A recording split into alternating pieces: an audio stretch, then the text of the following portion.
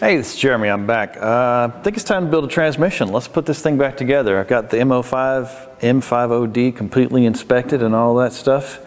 Um, we're going to pretend that I have new brass and bearings because I'm not going to rebuild this one. This one's just going to go into our stash of transmissions that our general program works on at school. And uh, I'm going to start with putting the hubs and sleeves together with all the keys and springs and things. So, each hub has three slots and each slot holds a key, which now lives on the floor. And there are springs that go in to press out on the keys. This particular transmission has holes to, uh, I don't know if you indicate, would be to keep the spring in the right location. And that spring just goes in like that, and there's one on each side of the uh, hub.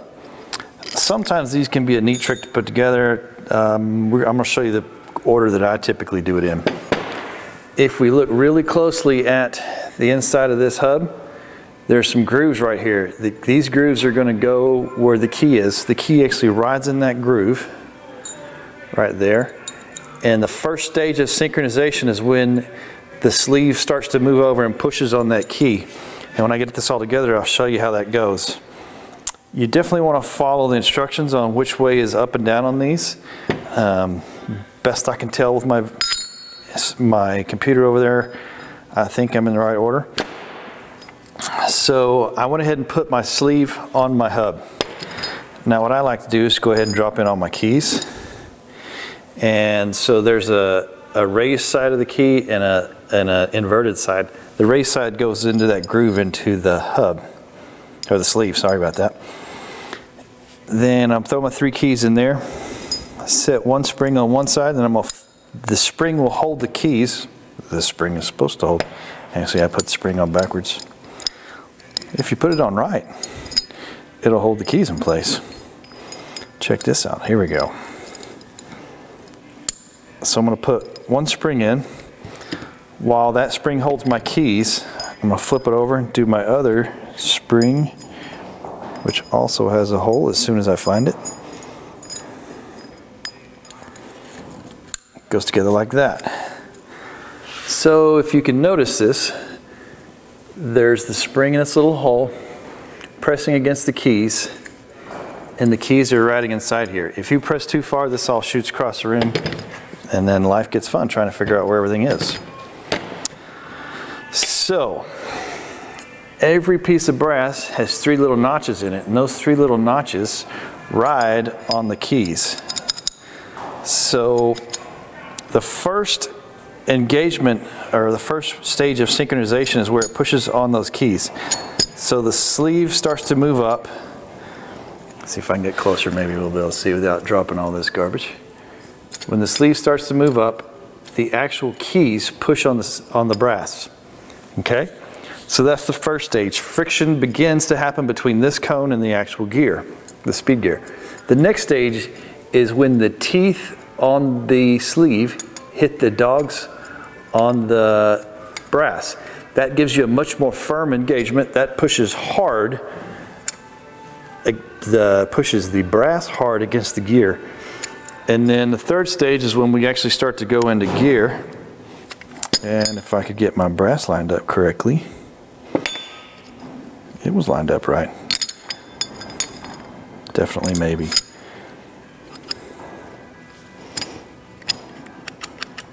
Or is this not the right piece of brass for this one?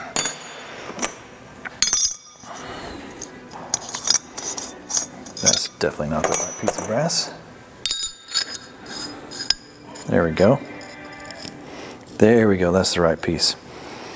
All right, so then once the gear lines up and reaches the same speed as the output shaft, the, the sleeve will go ahead and slide over and actually lock into the gear. And that's completed the shift. So neutral, shifted into gear. That's all you get right there. But the first engagement is when the keys start to press against the brass. Then when the second stage is when the sleeve starts to press hard against the teeth of the brass and then eventually it goes in the gear. Um, I'll actually post somebody else's video. It's a pretty good video. Watch it. They've made a jig where all this spins and they can go in and out of gear and you can see that a little bit. So that's how putting your sleeves and stuff together goes. Um, I'm going to skip past that in my instructions. And then let's go to reassembly of the transmission. And according to my instructions over here, it says to lubricate everything with the recommended lubricant. Normally what I would do is I was actually rebuilding this, I just have a little pan or a cup full of whatever transmission fluid this transmission takes. It doesn't smell like 98, so it's probably it may be just engine oil in this transmission. Let's go up and look. Um, specifications. So their fluid is Mercon ATF. So this one takes ATF for its fluid. Uh, but yeah, so you would just have a cup of ATF laying here. And then before you install each piece, go ahead and just dip it in ATF and install it. Um, is normally how I would do that. A cup or a, I have like little cake pans is what I typically use. So, first step is our second gear needle bearing. This guy right here is second gear. So my needle bearing goes on. We're going to install second gear.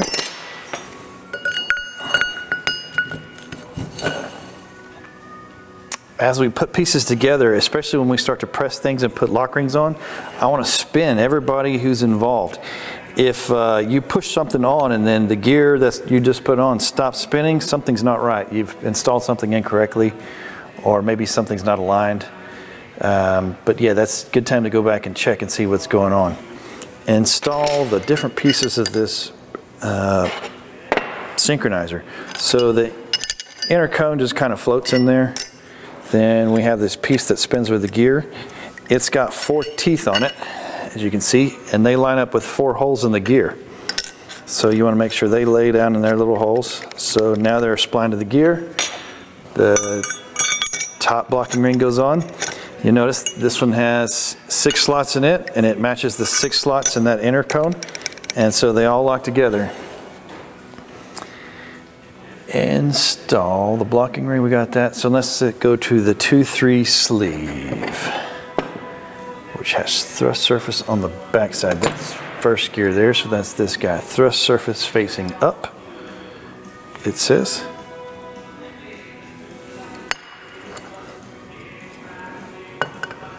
I'm not in love with this process right now. I don't feel like that's it. It's definitely this one.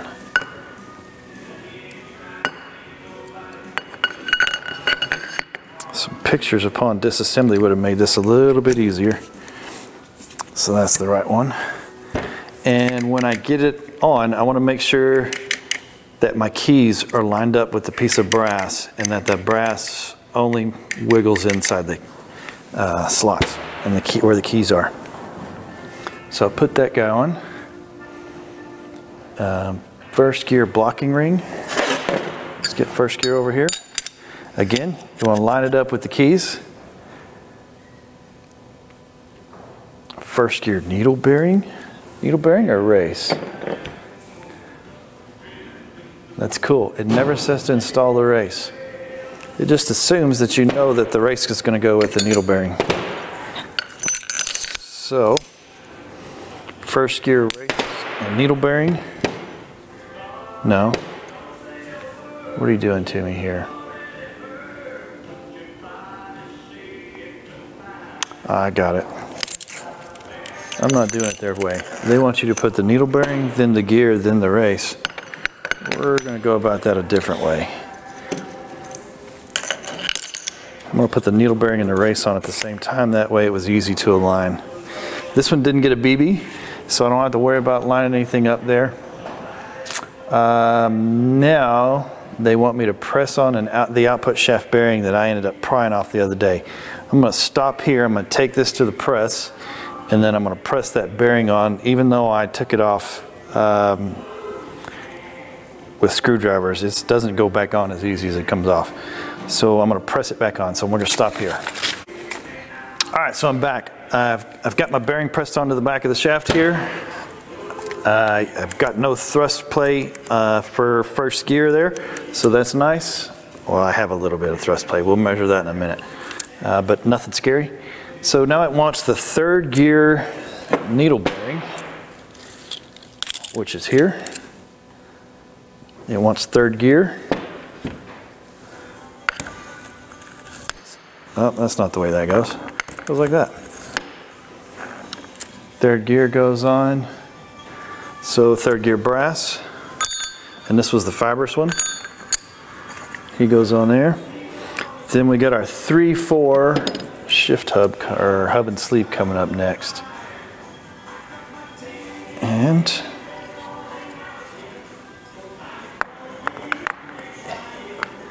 this guy just splines on the rides right, and then I'm gonna turn it till my keys are lined up again and push down. Now then I get a little thrust sleeve guy there. I get a lock ring pushes against that sleeve. Flip it over.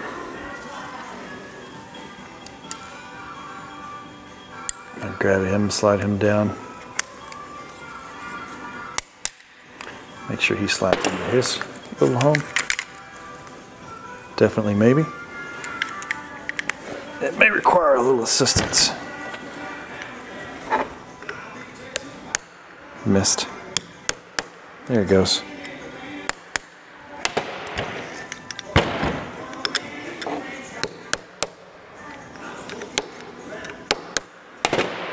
Just gave it a little help so that it would jump down into its uh, little groove. Third gear still spins, second gear still spins.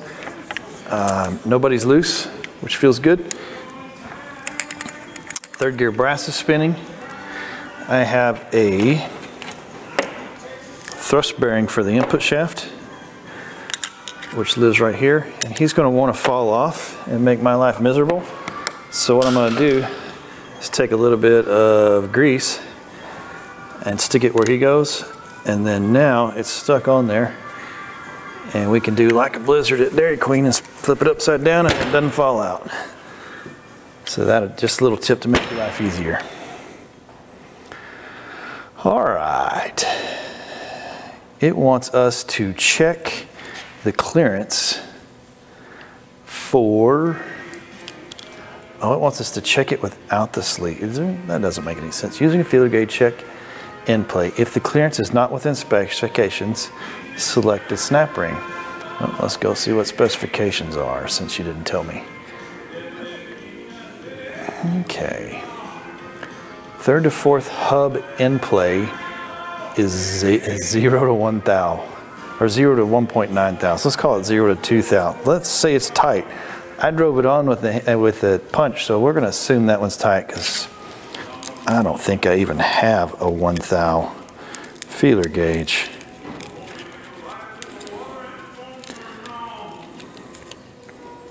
Negative. Yep, that's not going to happen. It's tight. Now let's go back to where we were.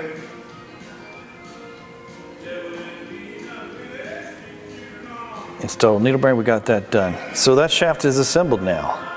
Now we can go grab our case, throw this one in the case, or start putting our case and stuff back together. How about that? Install the counter shaft. Do not install the counter shaft front or rear bearings at this time. All right, let's grab us a housing here. And hopefully you can see what's going on there. Looks pretty good. I'm just gonna set the counter shaft down into the transmission. And we don't want to put the bearings in because we want it to sit down low to allow us to install, give us some space to install the next the shafts. Position the input shaft into the transmission. It shows it with the pocket bearing installed, so we're going to go ahead and install it. Get him in as far as he'll go. All right, so we've got our cluster gear in, our input shaft is in. Now it wants us to install our output shaft. This may be a neat trick. But we'll give it a go. So this guy's gonna sneak in here like this. We're gonna do our best, ow, not to smash our fingers like that. And then we're gonna line it up with our input shaft, maybe. Be nice.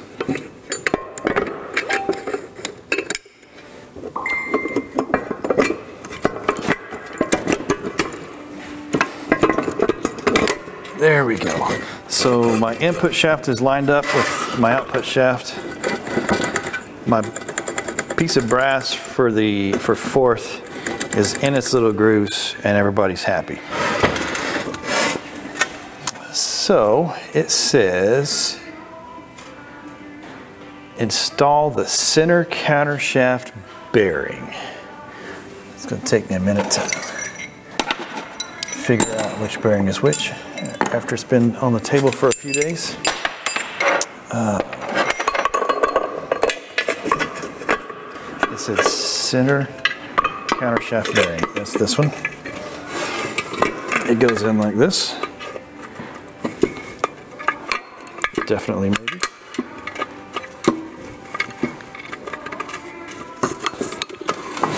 Okay. Install the output shaft center bearing. Race, it says bearing, but it means race. And the smaller one of the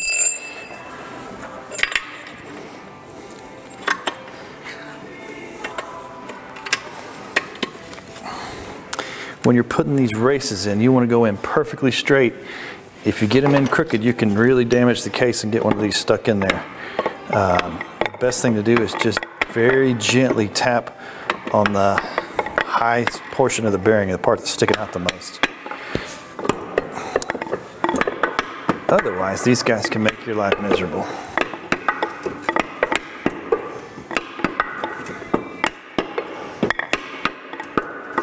And just take your time, and it'll go in easy like And of course, my cluster bearing falls back out because he's a jerk.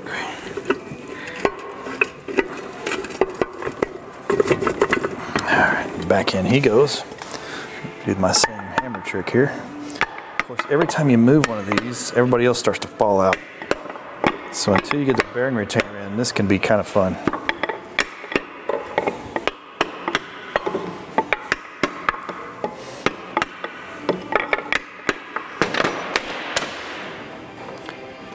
All right, output shaft center bearing is installed. Install the bearing retainer with the arrow pointing to the top of the case. So this is my, oh, check it out. He's got an arrow pointing to the top. Bye. Grab my bolts.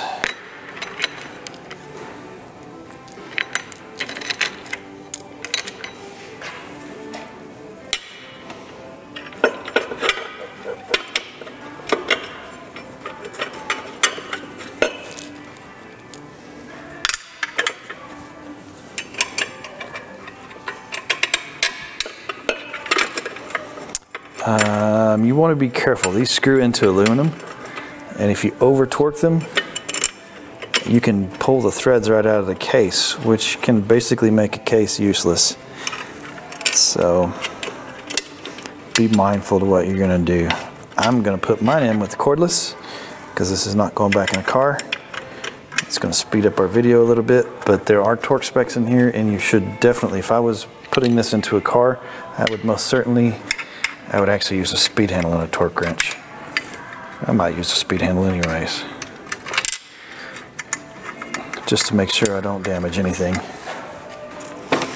Give that bearing a little extra push.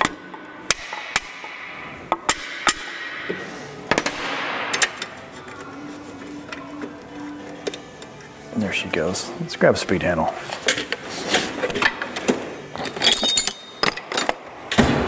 When I'm building engine and transmission, engines and transmissions, I typically use a speed handle to tighten things to get to the point where the torque wrench is ready to go. Uh, mainly because it's very difficult to over torque something with a speed handle and it's super easy to do it with your cordless impact. Get this guy out here. And I'm gonna just walk these in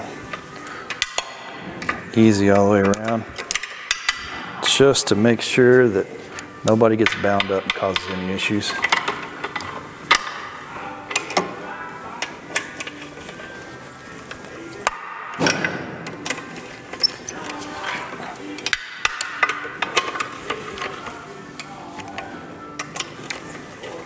I've never seen anybody over torque something with a speed handle except for maybe a transmission bolt or on a pan.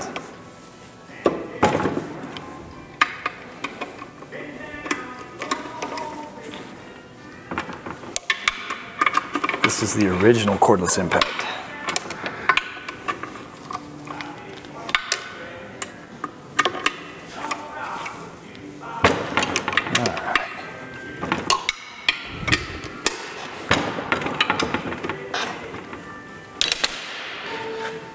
So those are all the 15 foot pounds with my hand operated torque wrench there. Let's uh, see what's next. It says put in a new front seal in the front cover. Uh, front seal's pretty easy on these. You just set it in the vise and drive it out with the socket or something and press your new one back in. It's a walk in the park. We'll put in our uh, thrust washers they had, as well as this um, it's not a slinger. It's a. It's just a seal to keep oil away from the front seal. Position the transmission with the bell housing facing up. Okay. I've got my transmission set up on a motorcycle stand. Uh, it's not the most stable thing on the planet, but I don't think it's going to fall over. Uh, first step now is it wants us to put the counter shaft front bearing in. So let's see if we can sneak this guy in there without being mean. Shaft's got to move a little bit.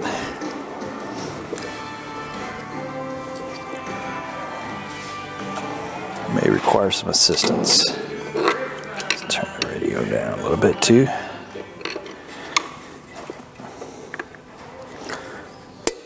Okay, that's good now.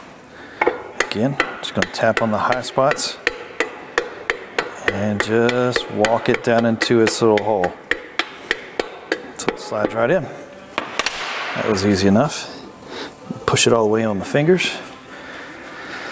All right, it says, install measure the input shaft bearing race height.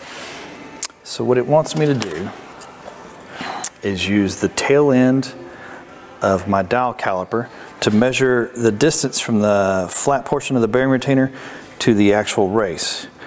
So we're going to measure that distance. I've got 159 thou. It says put it into the shim chart to choose the right shim.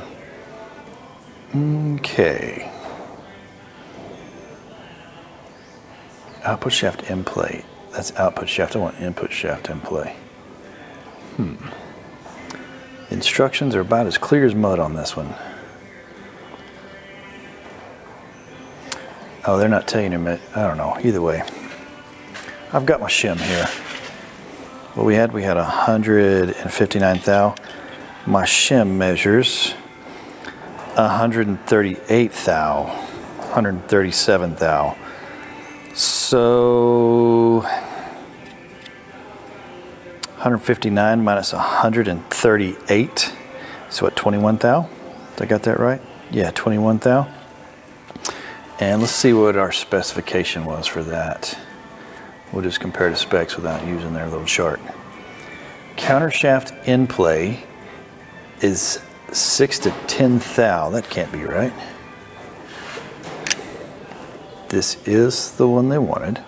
My rear bearing retainer is installed. Counter shaft end play is 6 to 10 thou. So ours is going to be a little loose. Uh, we'll remeasure just to double check. Uh, maybe I measured it wrong the first time. I got a little better measurement that time. My bearing is pressed down good. Set this guy flat on the surface there. There we go, I can live with this. I'm at 150 thou, and then we'll go back and measure 137 again.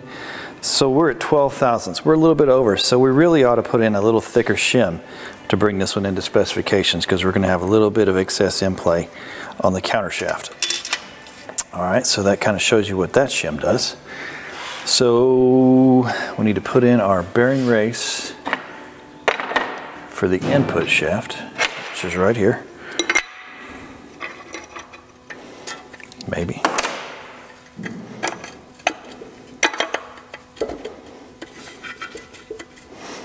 Gonna have to have some uh, inertia assistance. I'm Just gonna gently tap this guy down and make sure he never gets crooked.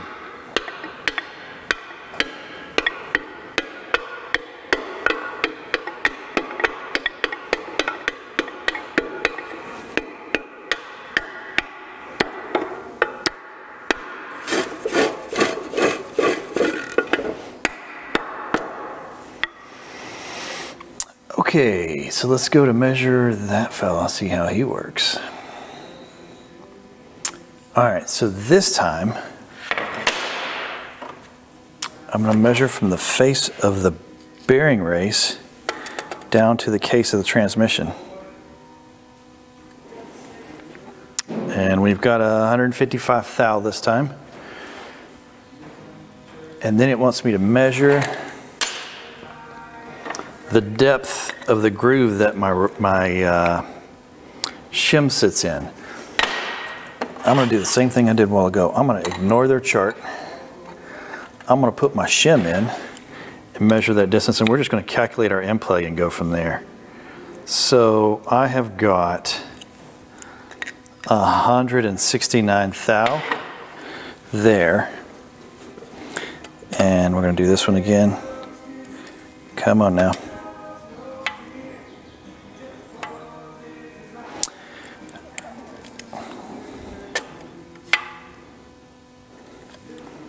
160 thousandths, so 9 thousandths of 161, 8 thousandths of in play. Let's see what the output shaft's in play spec is. Output shaft maximum in play is 2 to 6 thou. So we're a little bit over on that one too. So there's a little bit of wear in the bearings uh, and the thrust surfaces inside this transmission. Uh, so if we were going to do this one correctly, we would also want to take and put in a thicker shim here and there is actually a chart to tell me the, I, want to, I don't know if it had part numbers, it just had thicknesses of the particular shims. So we would want to go, we would want to take three or four thou out of this one to get it into specs, especially with it having tapered roller bearings on the main shaft. Um, tighter is going to be better in that scenario. So now it wants to install the front bearing retainer. What does it call this piece right here while we're at it? A fluid baffle. Okay, I'll buy that. Install your fluid baffle that uh, limits the amount of fluid that hits the front seal. Now normally we would clean this surface up very well, um, shoot it with some brake clean and get it nice and dry and clean, no oil on it on both the case and the front bearing retainer. And this on this transmission, this guy is sealed on with RTV. This transmission uses ATF as its lubricant. So if you wanted to use an RTV type sealant that is um, for transmission fluid, that would be perfect for this scenario. Uh, Toyota does have one, the red uh, FIPG, a form in place gasket is what you would use. Uh, but put him on.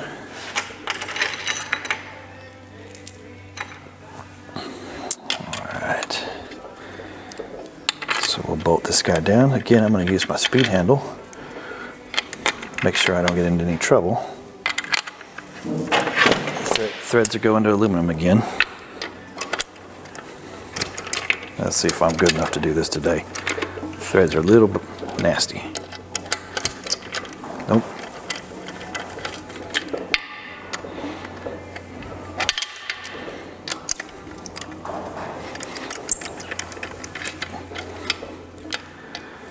Okay, and if this were a live rebuild, I would go ahead and torque these to spec right now. As soon as I finish running them all up touching with the uh, speed handle. But I'm going to use my handheld uh, torque wrench here. We're going to put them all to about 15 to 20 foot-pounds. Can you hear it click through this microphone? Because it's clicking. All right, there's that. So what's next? Okay, we're going back on the bench with this guy. All right, so I got my transmission back on the bench. It wants me to reinstall my little fluid deflector thing. So this tube splines into a hole in the front of the case. We'll stick it in here. Uh, just a bolt that locates it and holds it on.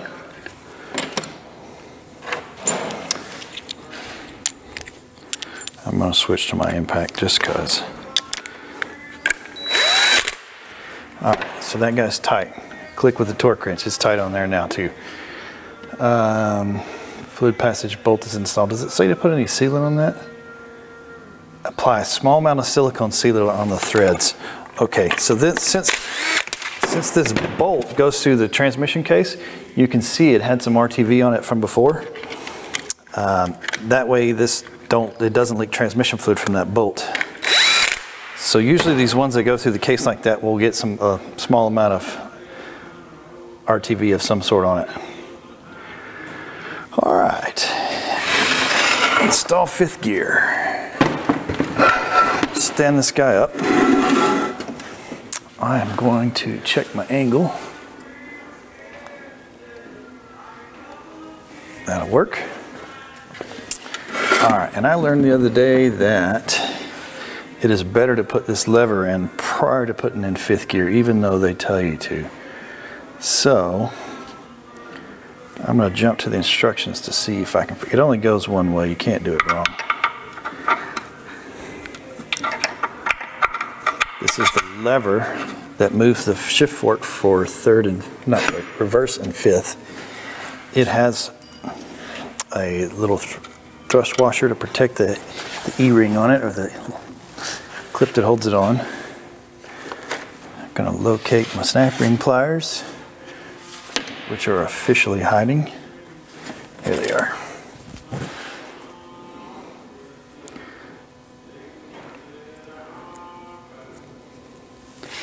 flat side up. It's in its groove and it's happy. That's that part. Now let's jump back up to fifth gear. Okay, fifth gear, driven gear goes on. Judging by the image, it goes like that. Ah, I'm not buying that. That's much better it was going to rub the case if I put it on the other way and I'm not okay with that. Install the following. Locating ball, inner race, fifth gear, split bearing. Okay. I got a little ball. Oh, that goes on this other shaft. That is going to be most difficult for you to see. So it wants me to install the ball that handles, that keeps the race from spinning on fifth gear. So I'm gonna take a little grease and I'm gonna apply it into the hole where the ball goes. And then while I still have some grease on my finger, I'm gonna stick the ball to my finger maybe.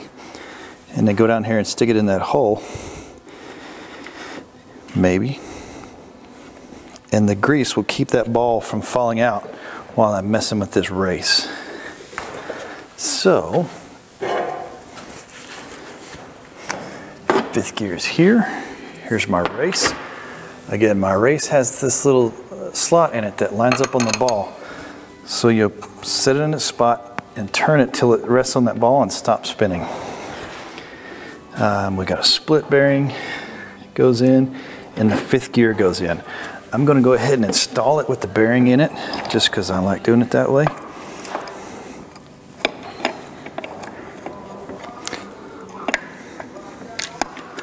All right.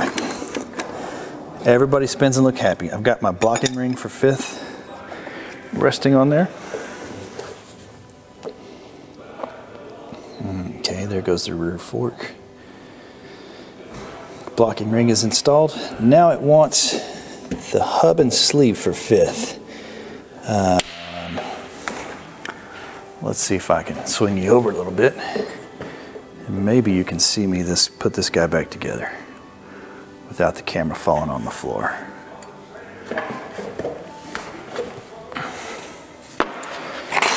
Okay.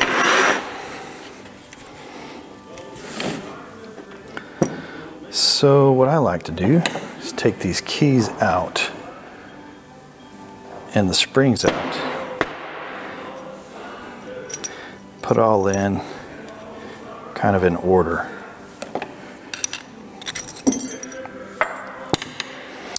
All right, there's my hub. Here comes my sleeve. And I gotta make sure my little grooves line up with my slots in the hub. Drop my keys in their little holes.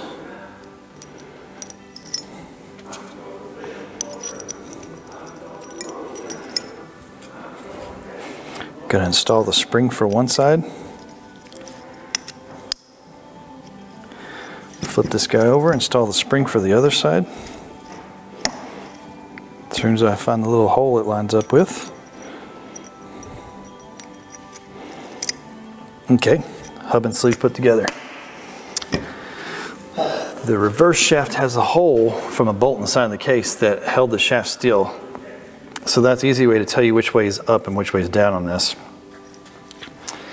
And it shows it with the smooth side facing up on that. I hope I got that right. We'll find out in a second. I know I got it right now that I'm looking at it. Okay, let's move you back over to where you can see the transmission. So all you got to do is line up the splines on the hub to the reversed shaft with its hole, the actual fork that makes that, or the lever that makes that fork move. Oh, nice. Drop all of it in there at exactly the right time. Um, then you got to get the blocking ring lined up from underneath with the keys. There it goes. Come on, get in there. All right. My blocking ring is lined up. It only turns a little bit. We're going to give it a little tap down so that we can get our half moons in that lock this guy on.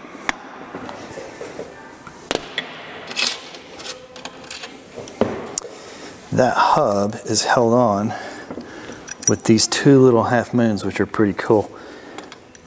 So they just slide into the groove in the shaft. And that's what holds that hub in place. And then there is a cool little thrust washer that has a groove that once you slide it over those half moons, they can't come out. They're, they're captured in there, which is kind of neat. All right, let me get to my instructions. Let's see what else we got. Okay, so our reverse bolt. There you go. Just bump the camera, it'll be fine. There was a hole in that shaft that lines up where this bolt goes in. And it is the funny looking bolt that has a pin on it to line up reverse. We'll spin him over here and I'm gonna do it by hand because I don't want to damage it if I'm not perfectly lined up on this shaft. There we go. I had to wiggle the shaft a little bit and the bolt will go right in. Take, and again, this one's gonna get a little bit of RTV on the, on the bolt to seal it to the case. And there's reverse. So it wants to check the in-play of this hub with feeler gauges. And again, we're talking zero to 2000. I don't even have a 2000s uh, feeler gauge, but let's assume I did. They would want you to check the clearance between that hub and the little half moons. Um, this one fits pretty tight, so I'm gonna say that's good. All right, my reverse speed gear is going to go on. So it's got two caged bearings and a blocking ring for reverse. I'm gonna go ahead and set, ooh, reverse got fiber too. That's cool. I didn't notice that on disassembly.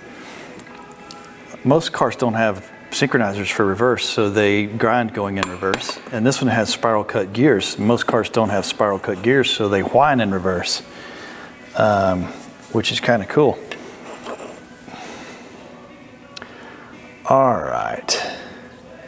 So it says install the reverse blocking ring, the two bearings, the counter shaft reverse gear, measure the reverse gear in play. Well, they forgot to tell you to put on the ring that holds it. And actually it wouldn't be the, it is the ring. How on earth are you gonna do that?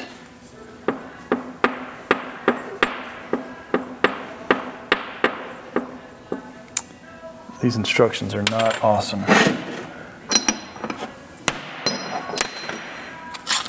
It wants you to measure something. That is, oh, there it is. Hey, looky there. So there's the correct thrust. You want to, it has you measuring with a feeler gauge the thrust between this uh, washer that is not captured. That's a pretty good waste of time. All right, now then, output shaft spacer goes on there.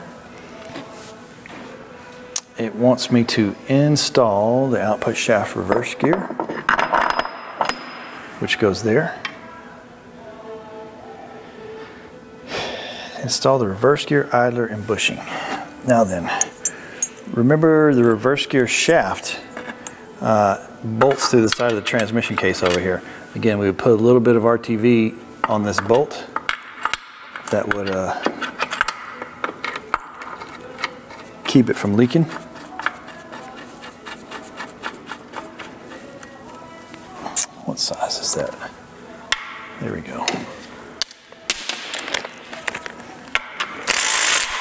Did you hear the torque wrench click on that? Because I used a torque wrench on that. If this were a live rebuild, I would definitely, because you don't want that reverse shaft coming loose when it's driving. That would be ugly. So torque that spec when you do it.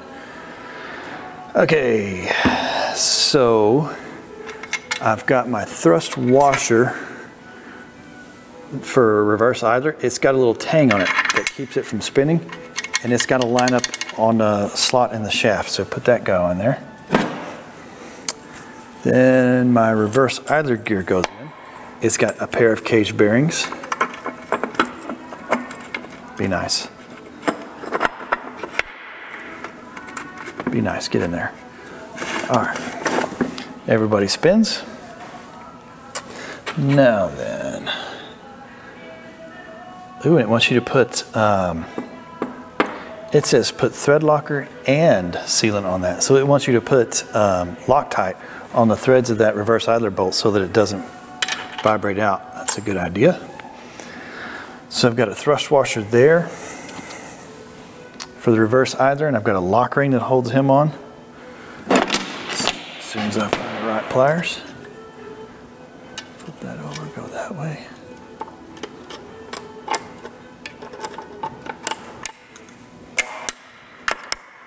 Okay, reverse is on there.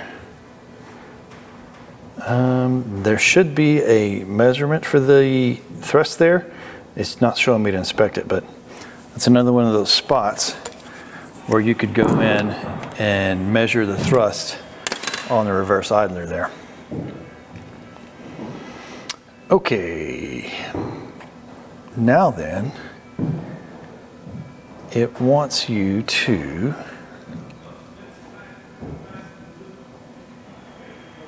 Position the output shaft rear bearing on the output shaft using the old output shaft lock nut. Install the output shaft rear bearing, then discard the nut and install a new nut. Huh, that's kind of cool. So, I'm going to put the bearing on. I did this the other day. This does actually work. All right, so take three of reassembling the tail end of this transmission after a dead camera battery and uh, no audio. Let's see if we can't get this done, finished up. Um, I'm not going to use the laptop. I've done it three times now, so I should have this memorized pretty well. So first thing we're going to do is throw the counter shaft rear bearing on and it has a nut that gets torqued to spec. You're supposed to put it in two gears at one time and then torque it to, I don't know how many foot-pounds, whatever it said in the service manual. So I have my torque wrench set there. And then uh, this nut has a spot where you're supposed to peen it so that it won't come loose. Um, so you would normally peen this. Now then, excuse me, has a little plastic cap that causes fluid flow to stay in there or holds fluid. Um, now then, my tone ring for my speed sensor has a BB that keeps it centered on the output shaft. And again, I stuck some grease in it uh, to hold the BB while we're working. And my tone ring has a little groove in it that lines up with that ball to keep it from spinning on the shaft. All right, now there's a lock ring that goes on to hold this guy in place. Maybe. All right, lock ring in, so that got captured. And there's a little rubber damper of sorts. I'm not sure what these do. I've seen them in several transmissions, and it just sits there on the end of the splines where the drive shaft stabs onto this critter. So normally we would have cleaned up this uh, gasket surface here very well and then hit it with some brake cleaner right before we put RTV on it. Same thing for the extension housing. Uh, we'll clean this whole surface. Uh, one or the other is going to get glued with RTV. Now then, when you put this extension housing on, it's got to align with the counter shaft bearing, the output shaft bearing, the fifth reversed shift shaft, and then uh, the reverse idler shaft all has to line up. So you can't force this on. You may have to wiggle to get it to sit down on there right and then uh, install it. Never force it down with the bolts. You want it to go all the way on, on its own, like that. So we'll put some bolts in this guy. There was one stud here. There was one stud up here in this corner the other day. And the rest were just bolts. Again, I would normally use my speed handle to install these and then torque them to spec with the torque wrench, especially because they're going into an aluminum housing. Let's see if I can find a cordless with a battery.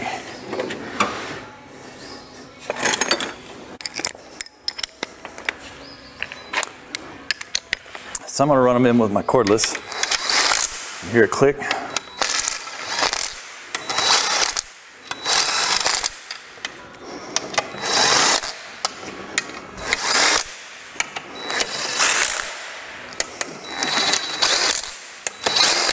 So, we got those torqued on. I'll flip this guy over. It's in time to install our shifter housing. So, with all my shift forks in their neutral position and all your sleeves in the neutral position, have this surface clean. Uh, we got our, if we had a new O-ring, we put a new O-ring in there. We have to stab the two forks into the sleeves up here and this little lever for fifth and reverse into a slot right here. So this may take a little trick to get it to sit down in there right. If you don't ever get everybody stabbed right, one, it won't work, and two, it may not go down right. So if that doesn't go on easy, something's, something's not right. I'll throw some bolts in this guy.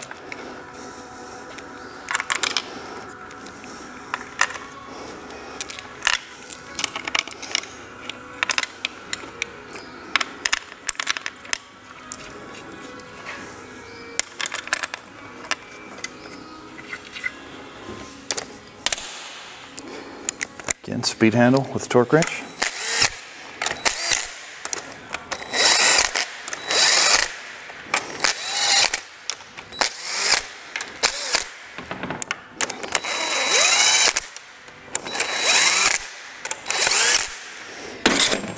And finally our shifter goes in. Maybe.